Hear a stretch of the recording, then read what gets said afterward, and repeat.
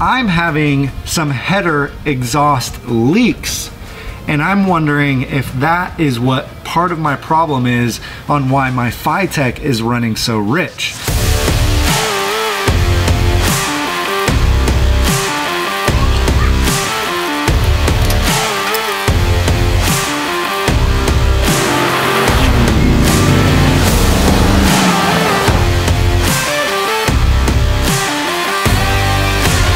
Welcome back to the garage, the place where we are talking everything FiTech and now everything EFI.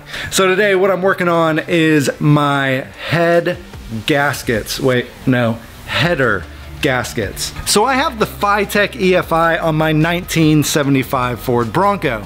And from the beginning or somewhere around the beginning, I started noticing that it would always try to go rich when I was driving around. And so I'd always go in there and punch in the numbers and try to make it go more lean. And I was like, what is going on? But it hasn't been until recently that I think I've kind of figured out why this is all happening. So the thing that's the most important on these EFI systems, the FiTech, the Holley, the Sniper, uh, or Holley and Sniper, that's the same one, Edelbrock, um, is the wideband O2 sensor. And where that wideband O2 sensor goes is it goes in your exhaust and it reads the exhaust gas that comes out of the engine and it goes into the exhaust pipe. But the thing that is so important with those wideband O2 sensors is that that gas is not contaminated. It doesn't have anything else coming in, which includes no outside air. And so a lot of you guys who are just running like headers and a, you know, shorty little tailpipe, you're probably having some trouble with your EFI system because there's fresh air coming in the tailpipe that is messing with your wideband O2 sensor reading the exhaust gases coming out of the engine. That's why I think I'm having trouble because I'm having some header exhaust leaks and I'm wondering if that is what part of my problem is on why my FiTech is running so rich. So you guys have seen, uh, I just put in a new camshaft in this um, and my FiTech handheld controller isn't working. So I'm kind of just going off of feel, I'm going off sense here.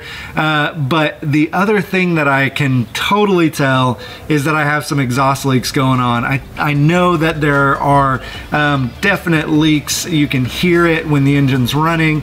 So I'm gonna take the header gaskets off and I'm gonna take a look at them and see if we can't figure out if we've been having some leaking issues.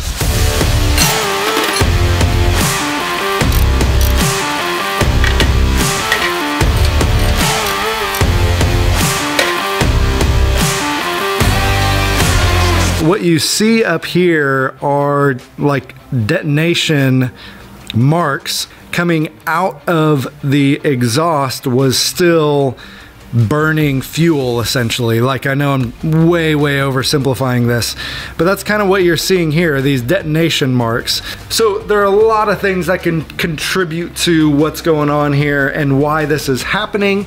But from the time that I've been working on my engine and knowing the FiTech and probably what's going on with a lot of your engines is when I put these header gaskets on, which was when I replaced my long tube headers. You can check out that video. Um, but when I put these header gaskets on, I had already had my FiTech on. It had already kind of learned with my stock uh, manifolds. Usually what would happen with a header gasket is you'd tighten it down, you'd go warm up the engine, take it for a drive, uh, kind of get the engine up to operating temperature, get it hot, and what would happen is that metal would expand and kind of sealing this gasket to the head and to the uh, header. And then you would tighten it back down one last time and you know kind of hope that it never untightens as time goes on but with the EFI, with the, the FiTech and with these different EFIs, what's going on is that uh, wideband O2 sensor is reading, hey, we've got fresh air in our exhaust. We've got, coming into these exhaust gases, we have got this too much air in our air fuel ratio mixture, and so we need to dump more fuel into it. So most likely what was happening was when I was trying to break in my header gasket, uh, my FiTech was actually fighting me and dumping more fuel into my system, which was causing this detonation through the exhaust, which is why I've been hearing these exhaust leaks and this like ticking coming from my engine. So when I was doing that video for Bronco Garage, Michael Duff uh, introduced me to these Remflex uh, header gaskets.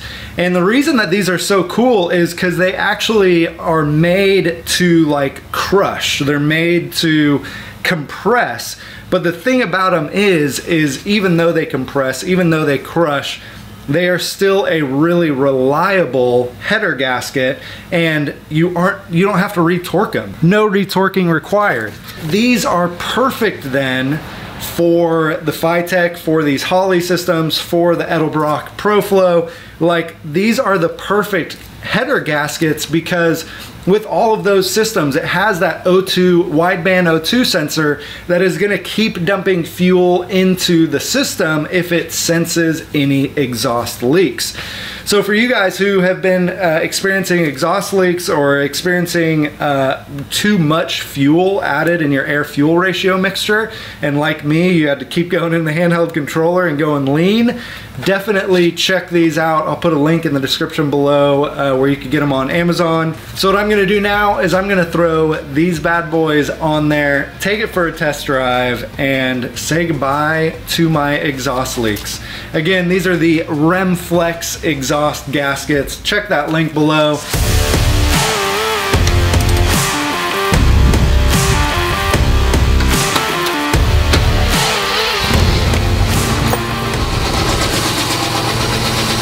I can hear it. It sounds so much better. Uh, definitely took care of the ticking and hopefully I won't get that detonation like I was having earlier. Thank you guys so much for watching. I'll see you next time.